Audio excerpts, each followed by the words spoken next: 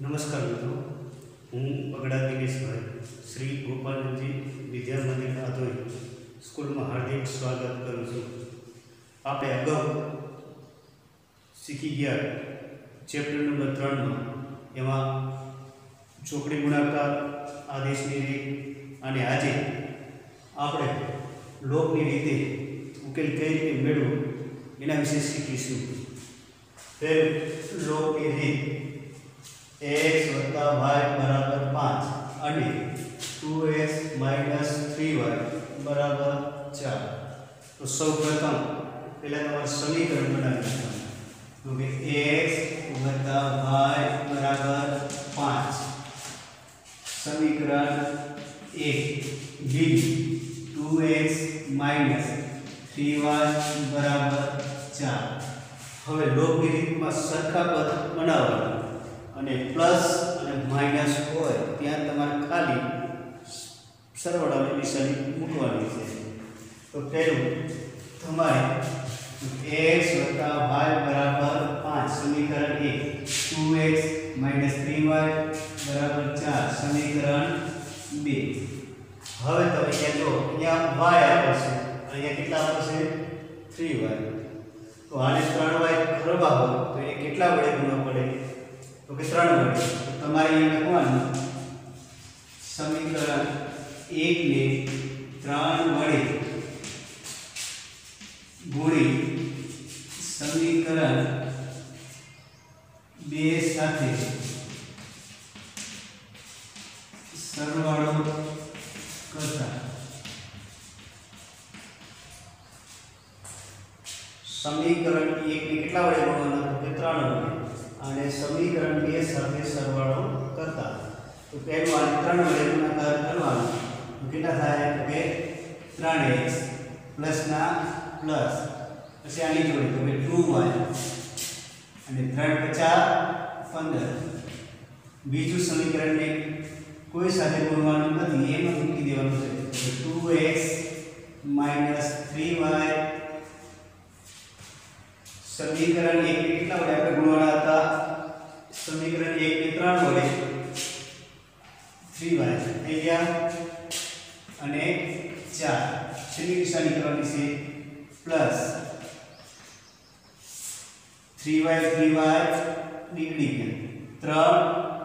બે કેટલા થાય તો કે પાંચ એક્સ પાંચ ને ચાર કેટલા થાય તો કે નવ એક્સ પંદર અને ચાર કેટલા થાય ઓગણીસ હવે તેથી એક્સ ને આગળ લઈ લેવાના એક્સ અને છેદમાં પાંચ આ એક્સ ની કિંમત થઈ હવે એક્સ બરાબર ઓગણીસ ના છેદમાં પાંચ ની કિંમત સમીકરણ એકમાં મૂકતા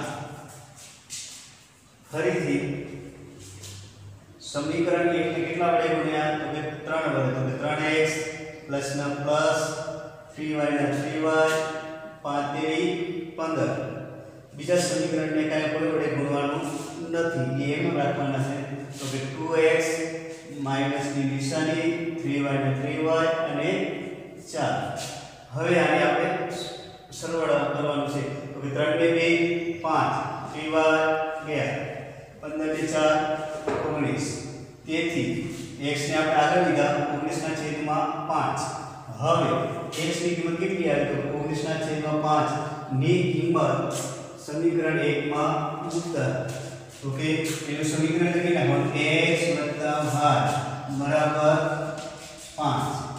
પણ x ની કિંમત કેટલી આવે? તો કે ઓગણીસ. એના છેદમાં પાંચ. પ્લસની નિશાની y ના y અને પાંચ. તેથી y ને આપણે આગળ લેતા. ઓગણીસ. આ પ્લસ હતા, એટલે શું થઈ ગયા? માઇનસ નીચે પાંચ. તેથી y બરાબર ઓગણીસ, પાયો પાયો પચીસ, છેદમાં પાંચ. તેથી ઓગણીસમાંથી આટલું એટલે કેટલા વધ્યા? છ. નીચે પાંચ. તો કે y ની કિંમત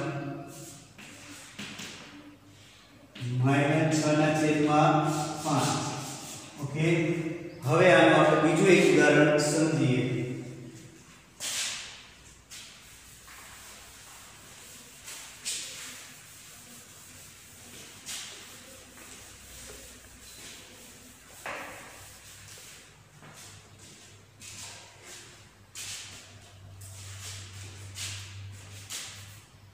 थ्री एक्स प्लस चार वाई बराबर दस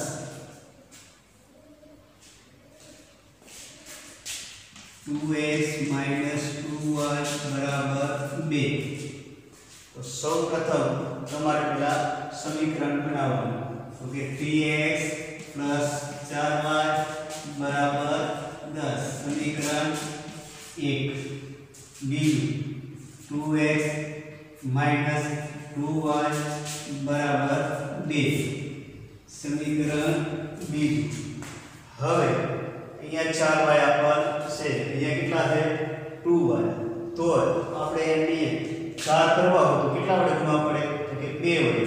તો તમારે અહીંયા લખી નાખવાનું. સમીકરણ બે બે.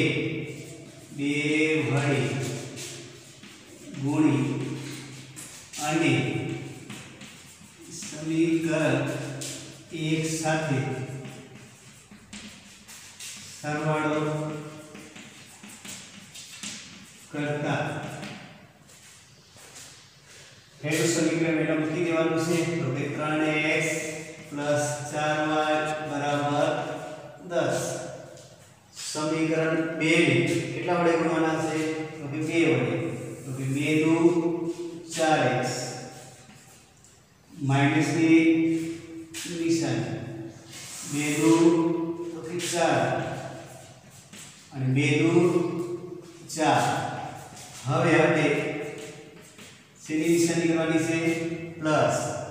તો કે 3 અને 4 કેટલા થાય તો કે 7x 4y 4y નીકળી ગયા 10 અને 4 14 તેથી x બરાબર 14 ના 14 7 છેદમાં એટલે કે બીજી 7 દો 14 તો કે x બરાબર કેટલા આવ્યા તો કે 2 હવે x બરાબર 2 ની કિંમત સમીકરણ 1 માં મૂકતા તો પહેલું સમીકરણ લખી નાખવાનું 3x 4y બરાબર 10 તો કે 3 ના 3 x ની કિંમત કેટલી આવી તો કે 2 પ્લસ ના પ્લસ 4y ના 4y પ્લસ ના 10 ત્રણ દુ છ. ચાર બાયના ચાર, દસના દસ. તેથી ત્રણ ટકા કરવાના ચાર બાયના ચાર, દસના દસ. આ પ્લસ છે, પેલી જાય એટલે માઇનસ ચાર બાયના ચાર દસમાંથી છ કાઢો એટલે વધે? ચાર. તેથી વાય બરાબર ચારના છેદમાં ચાર. ચાર એકા ચાર y ની કિંમત કેટલી આવી y ની કિંમત 1 તો કે x અને y તો x નો જવાબ કેટલો આવ્યો તો કે 2 અને y ની કિંમત 1 દોસ્તો આપણે અત્યારે લોગની રીત શીખ્યા હજી પણ આવા ઘણા બધા ઉદાહરણો દ્વારા આપણે સમજી શકીએ છીએ લોગની રીતમાં ખાસ યાદ રાખવાનું છે કે પ્લસ અને માઈનસ હોય તો જ સરવાળો થાય છે. પ્લસ અને માઇનસ ઉપર તમારે સરવાળો કરવાનો છે. માઇનસ માઇનસ હોય તો પણ આમાં માઇનસ થાય છે. પ્લસ અને પ્લસ હોય તો પણ. પ્લસ અને પ્લસ હોય તો પણ શું થાય છે? Minus okay? તો તમારે ખાસ ધ્યાન રાખવાનું છે. થેન્ક યુ કેટલી મિનિટ?